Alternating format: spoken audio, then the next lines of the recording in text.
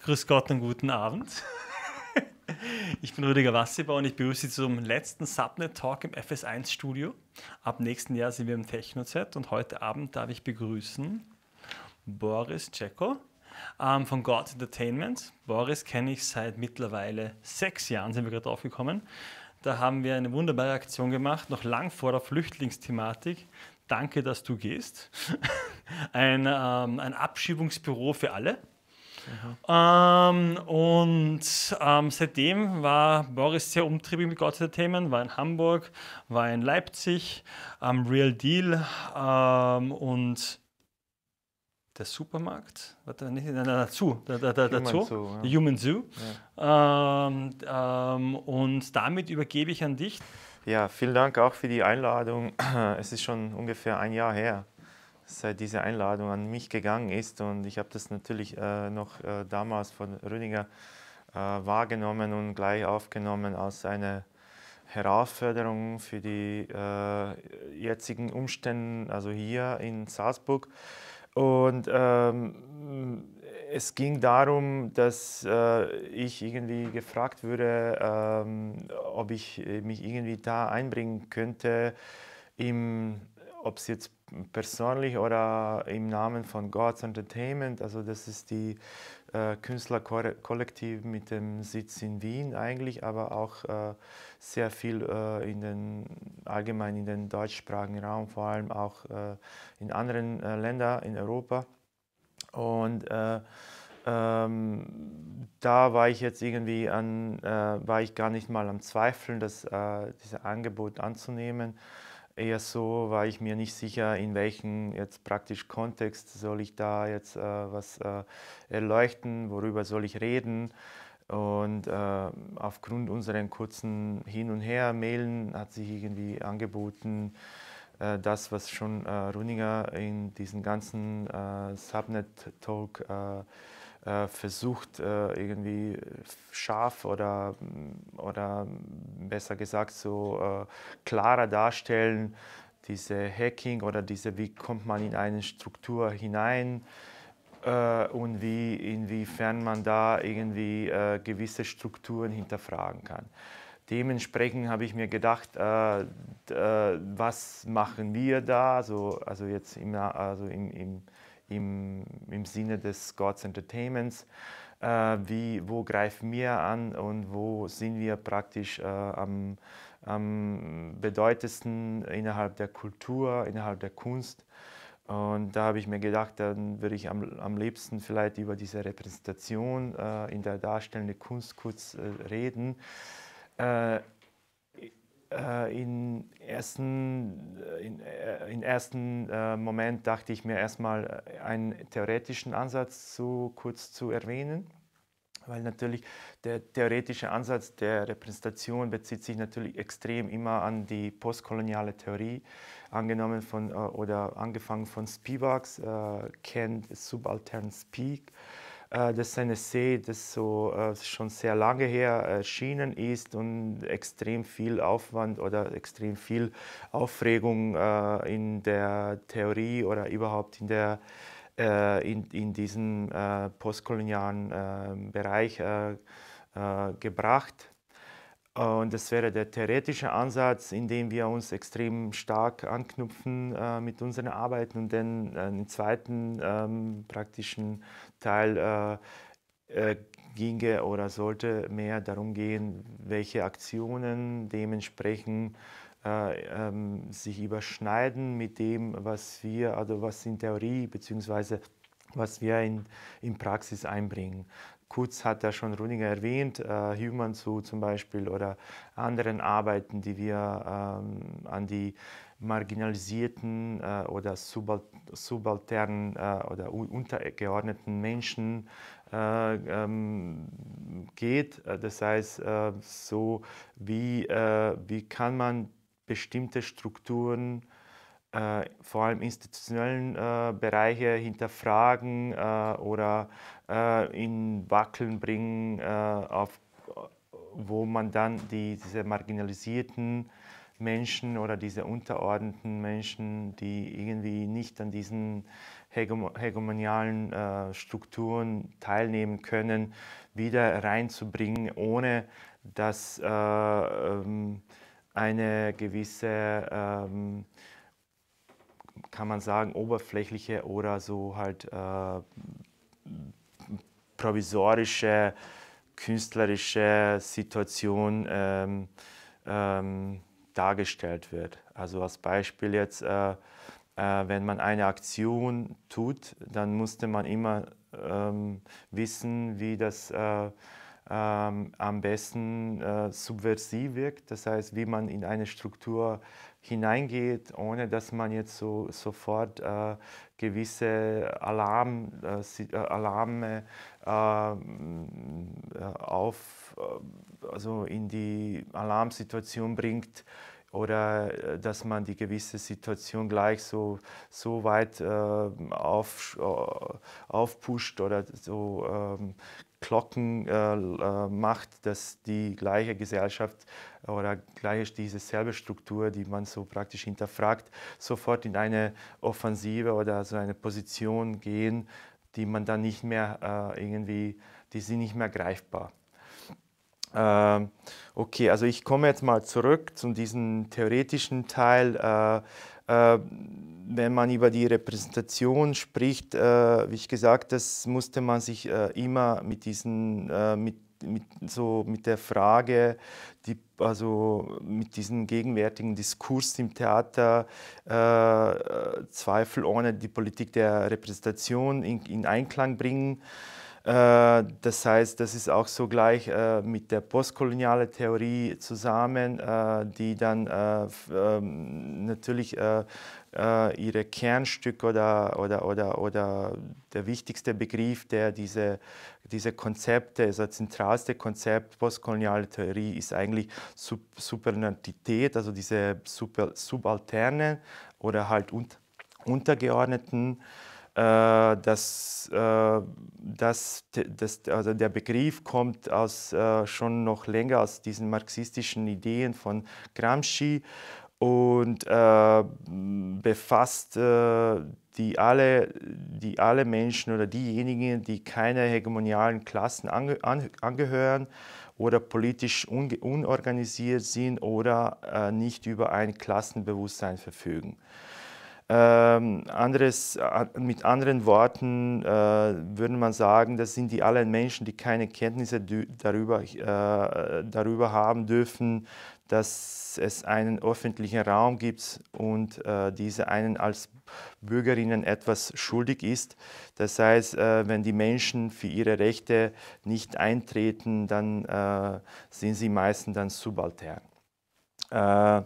In diesem Essay, wie ich gesagt habe, kennt die äh, Subaltern Speak von, äh, von, den, äh, von Spivak aus 1988, äh, bezieht sich auf zwei wichtige, äh, zwei wichtige ähm, Prozesse, als, auch als einen Kritikpunkt auf, auf, auf die Überlegung von ähm, Foucault und Deleuze äh, die, die, äh, die besagt, die Repräsentation der Untergeordneten äh, praktisch strikt ablehnen, zu, ablehnen sollen, die diese schließlich selbst sprechen konnten, können und hierfür keine Intellektuellen brauchen würden, die als ihre Sprecher fungieren.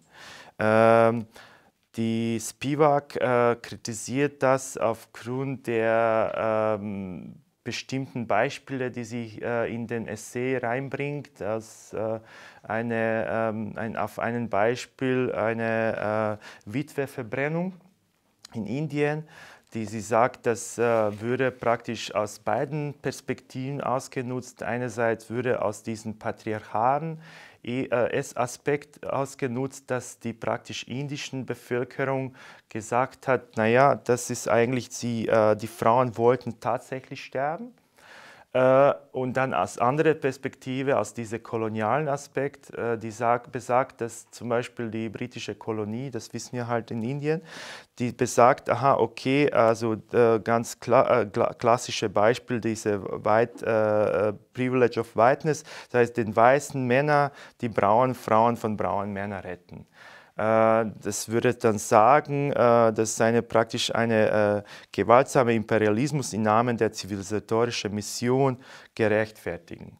Ähm, die beiden Beispiele, die sie da rein, äh, ähm, reinbringt äh, in diesem Essay bzw. analysiert, äh, will sie damit sagen, dass, die, dass die keine von diesen beiden Beispielen äh, lassen die äh, Subalternen, also praktisch jetzt die Frau, an und für sich selbst zu reden. Das heißt, jeder nutzt die Gelegenheit, darüber hinaus äh, etwas zu, zu, äh, äh, zu deuten. Also äh, von einer Seite wollen sie sagen, dass, diese, äh, dass ein, äh, aus dieser britische kolonialen Bild würde, sagen, würde heißen, das Bild eines inhumanen und barbarischen Indiens zu zeichnen.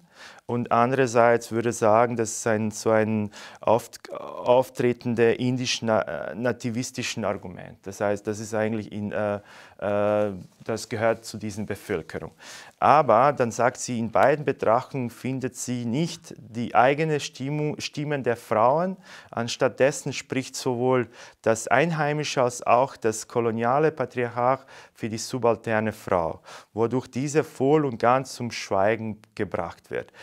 Und da komm, kommen wir wieder auf diese äh, Sprechen. Also für sie heißt nicht da, wie öfter in der deutschsprachigen Raum äh, übersetzt würde, würde für sie nicht in erster Linie sprechen bedeuten reden, sondern äh, würde halt heißen eher, dass äh, über die hätte äh, über die äh, über das Wesentlichen und das heißt das Hören das Hören praktisch diese ähm, äh, wie sagt sie nochmal genau, das, also das Gehör zu verschaffen.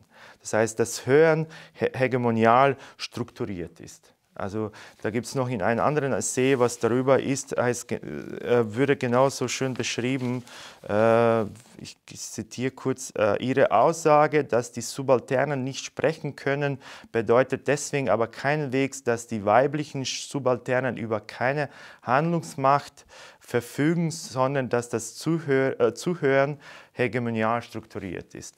Also das heißt, darüber hinaus kommt sie die, die, also diese Stimme kommt nicht, äh, trotzdem nicht weiter und sie äh, äh, würde natürlich auch kritisiert äh, von anderen ähm, äh, äh, Wissenschaftlern, dass sie praktisch keine, wiederum keine Alternative dazu bietet. Also das heißt, sie, sie, sie stellt alles in Hinterfrage und, und versucht diese Lernprozesse oder das Verlernen als ein, ein, ein, eine Möglichkeit innerhalb von Europa, vor allem innerhalb von europäischem Raum, als eine als eine, äh, praktisch als eine ähm, äh, Lösung darzustellen, aber doch äh, gibt sie kein, keine richtigen Antworten darauf. Äh, und da komme ich jetzt zurück zu diesen wichtigen, äh, das heißt, diese Repräsentation wird natürlich äh, aus zwei Ebenen gebaut. Einerseits ist, es geht nicht nur um die Frage, über was gesprochen wird, sondern auch um die Frage, wer für wem spricht. Und da kommen wir praktisch um diesen Vertreten. Das ist eher dieser politische ähm, Blick hinter dem Begriff Repräsentation. Und dann kommen wir auf diesen psychologisch-philosophischen nochmal äh, darstellen, das heißt sprechen von. Das, das wäre die zweite Ebene, das, was wir praktisch dann versuchen jetzt im Theater zu kritisieren oder überhaupt in Darstelle oder in Theaterpraxis äh, äh, äh hinterfragen. Ähm, das äh, sehen wir sehr leicht auf den, anhand von Beispielen mit Flüchtlingen dass zum Beispiel viele Theaterhäuser heutzutage nehmen die Flüchtlinge auf der Bühne, um die Empathie zu erzeugen. Das machen natürlich auch sehr viel, äh, nicht vielleicht anhand von Be äh, Flüchtlingen, aber anhand von bestimmten Themen, also die populistische oder rechtspopulistische Themen, was wir in, in jüngerer Zeit wissen alle, dass die mit solchen Themen kokettieren, um bestimmte Empathie erzeugen. Das heißt, und, oder halt Ängste ähm, äh, schaffen, äh, das heißt bestimmte Boden dafür zu eignen, äh, damit man dann ähm, besser ins Licht oder besser dar darüber ähm, ähm, kritisieren oder laut werden kann.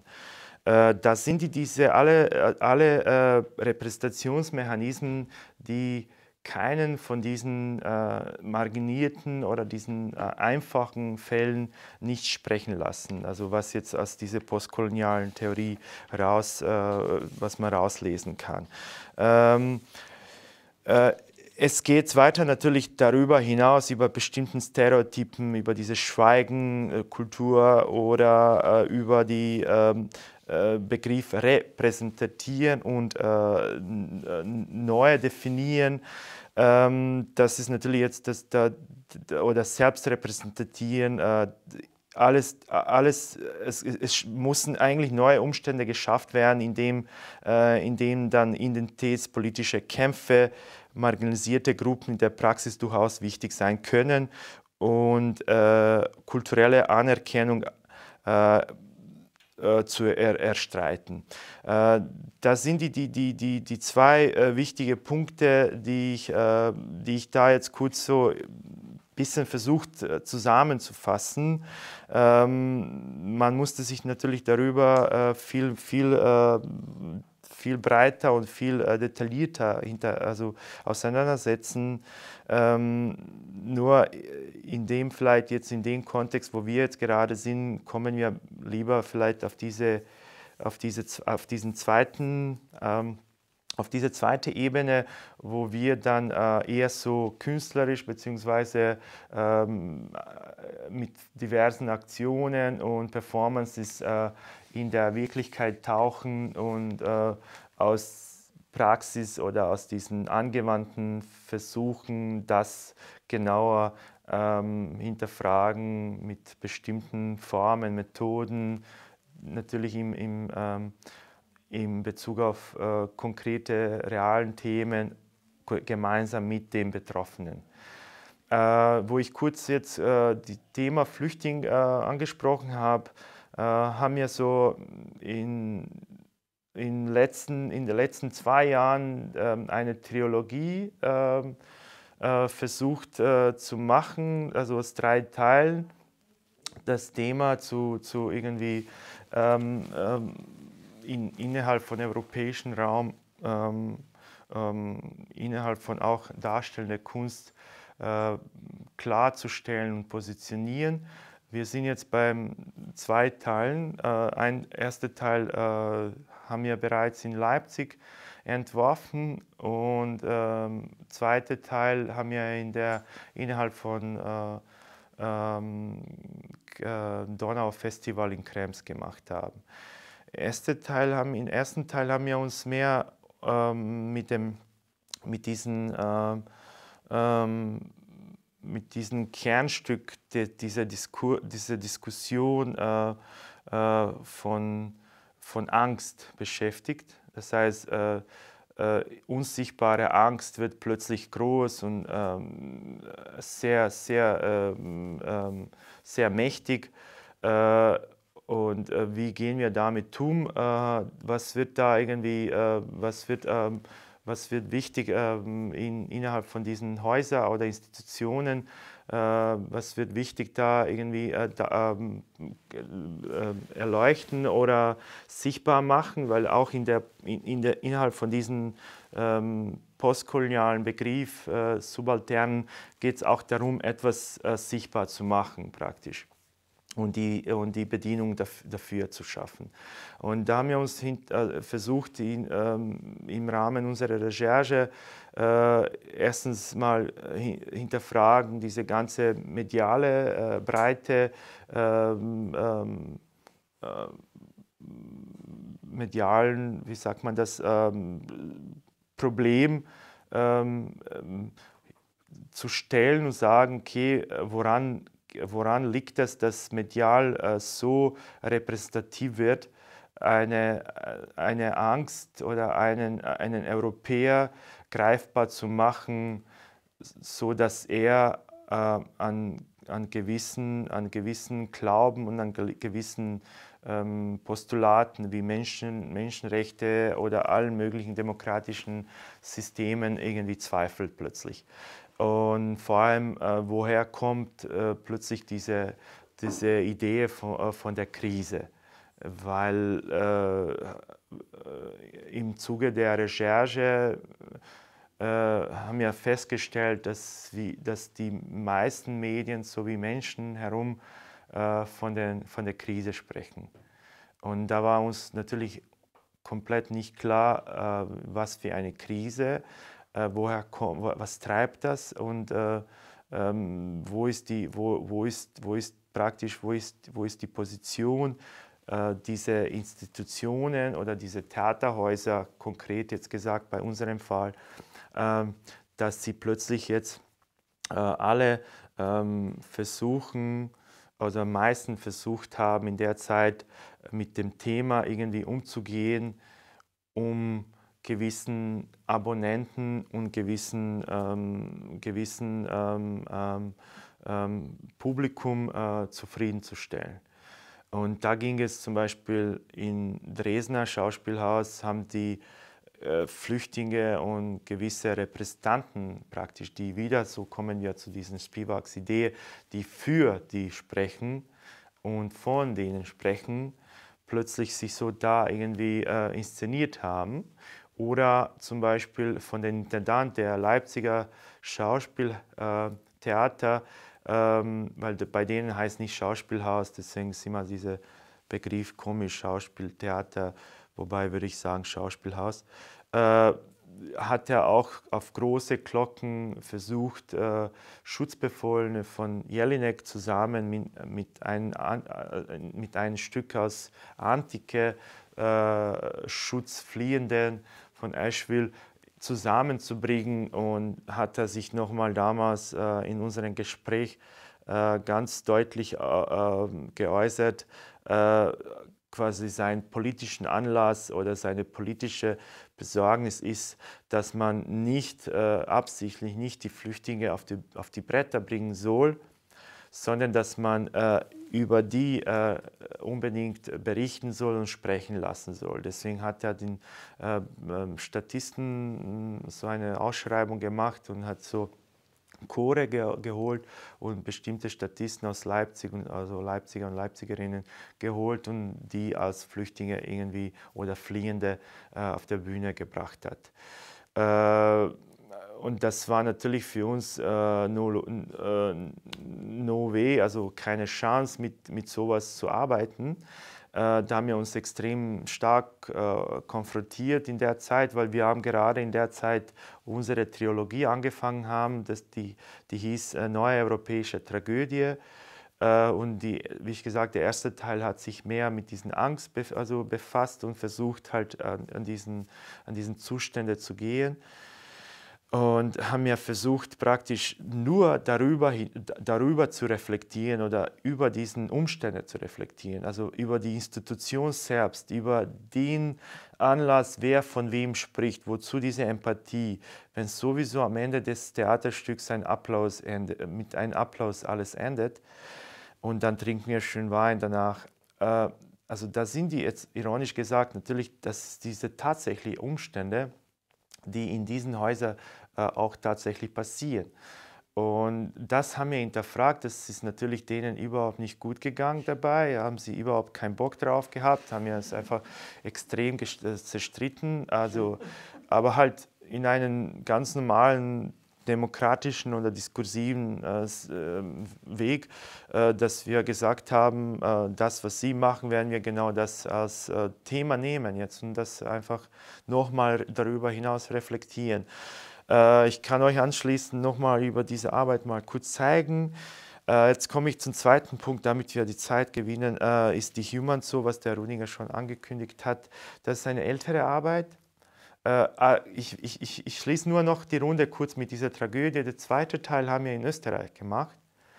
Hieß, niemand hat euch eingeladen. Das ist ja wieder ein Zitat, das aus, aus, aus, aus tschechischer Regierung ausgegangen ist, äh, die über Flüchtlinge damals gesagt wurde, nach diesen so, sogenannten Balkanroute äh, die gesagt haben, niemand hat euch eingeladen.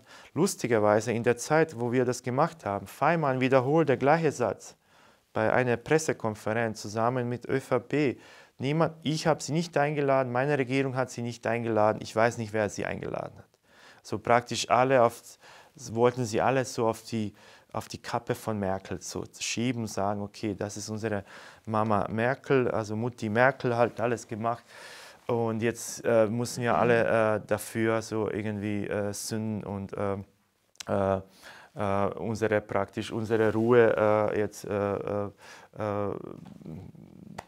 be bewältigen oder wie immer. Ähm, das, äh, und das war in, in Krems, in, in, in diesen, äh, in diesen, äh, im, bei Donau Festival.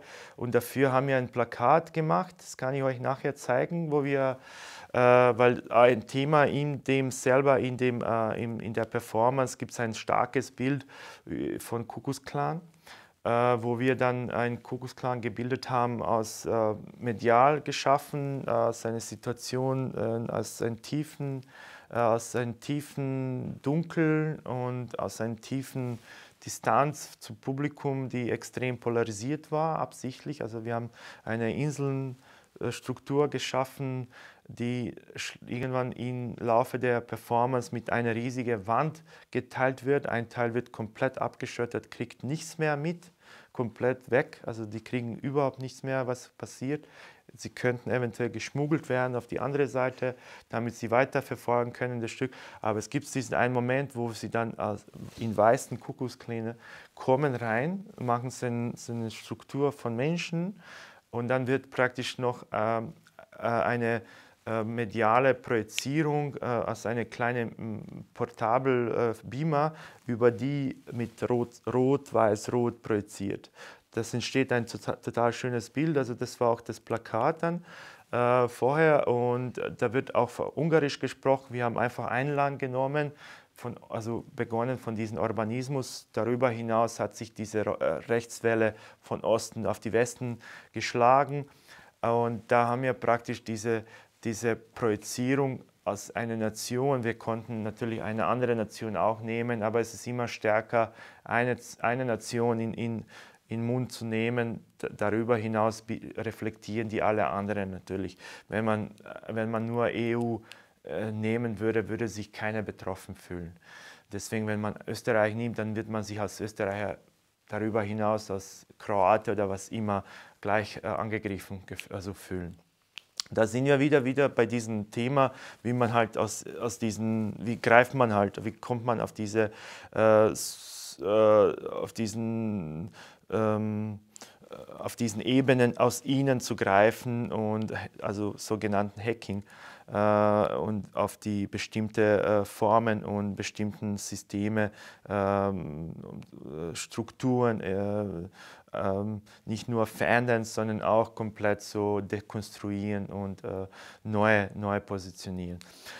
Und äh, okay, jetzt komme ich wieder zurück zum, zum Human Zoo, weil das war der zweite Teil. Der dritte Teil wird halt auch jetzt äh, im, im, nächsten Jahr stattfinden. Äh, be, be, beschäftigt sich mit dem Thema Hoffnung.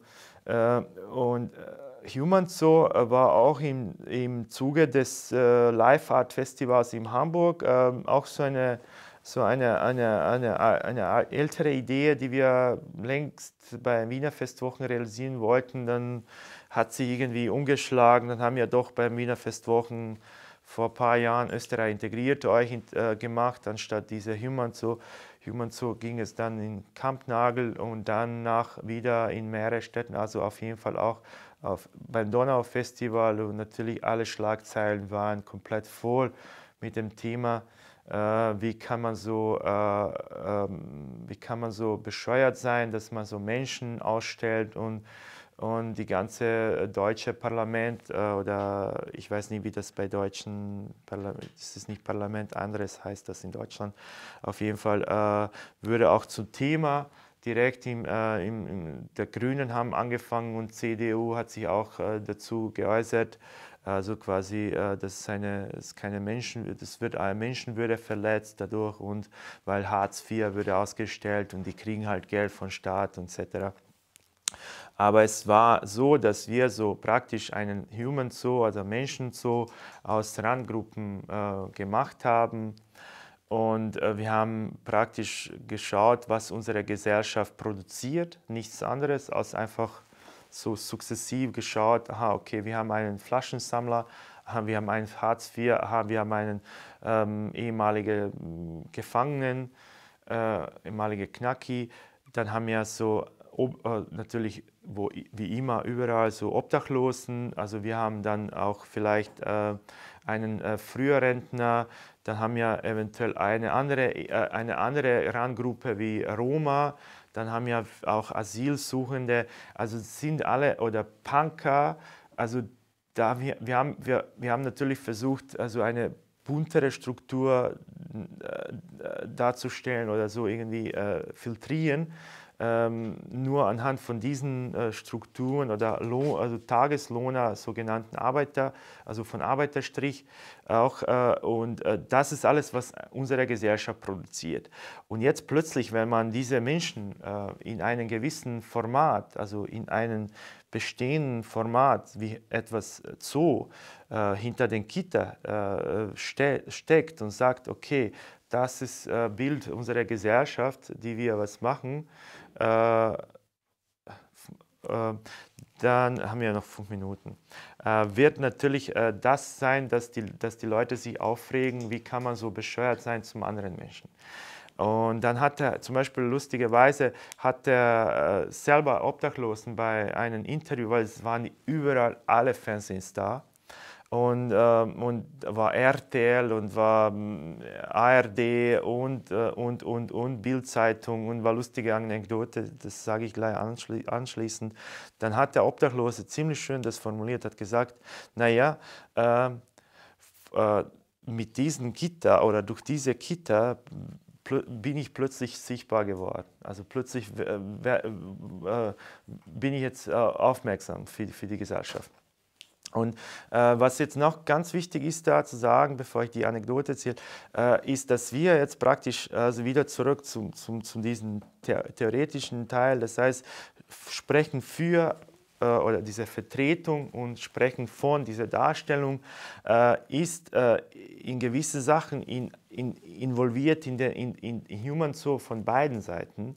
Aber wir haben jetzt wieder nicht so versucht, äh, von denen zu sprechen oder für die zu sprechen, sondern wir haben nur ein, eine Insta Installation äh, oder diese Bedienung, was sie jetzt, was die Spivak, wovon sie spricht halt, äh, wir haben diese Bedienung geschaffen, dass sie da, äh, dass sie da sind. Also das heißt, wir haben jetzt wieder nicht, ähm, äh, was, was, die viele äh, Theater-Communities oder Theatergruppen diese Gefahr laufen, äh, dass sie halt über die sprechen auf einer intellektuellen oder professionellen Ebene und laufen sie natürlich der Gefahr, weil sie dann wieder instrumentalisieren bzw. ästhetisieren wieder diese Menschen. Das, das war genau, was wir nicht gewollt haben, was uns auch gelungen ist, dass wir nicht von diesen Menschen sprechen, sondern dass die Gesellschaft plötzlich hat sich selber gefangen gefühlt hat. Also meistens haben die Menschen sich äh, irgendwie äh, bedruckt gefühlt oder äh, gefangen gefühlt, dass sie plötzlich hinter der Gitter stehen und die Menschen, die hinter Gitter tatsächlich in der Installation sind von diesen 200 Quadratmeter, plötzlich sie sind so, so, sozusagen frei. Und diese Anekdote äh, war lustig, dass, ähm, dass der äh, dass der Hamburger Post, also Morgenpost, das ist so Boulevardzeitung wie hier äh, Krone, aber halt nicht so heftig rechts, äh, dass sie gesagt haben, die wollen das gleich auf Coverseite bringen, Human Zoo, haben sie es gebracht. Erst der Human Zoo im äh, Winterhude, haben sie so geschrieben, war lustig. Was auch natürlich interessant ist, was für uns war echt wichtig, dass diese Medien auch wieder etwas verbreiten. Äh, das, wir haben jetzt plötzlich wie einen Knochen geworfen, dann Medien haben extrem heiß drauf und haben sie sich gegenseitig extrem äh, ähm, gegriffen und so bestimmt übereinander so berichtet haben, wie zum Beispiel wie diese Anekdote. Da kommt der Bildzeitung-Typ, würde irgendwelche Praktikant oder ich weiß es nicht, also ein jüngerer Journalist geschickt, dass er darüber berichtet. Kommt die RTL und will das auch.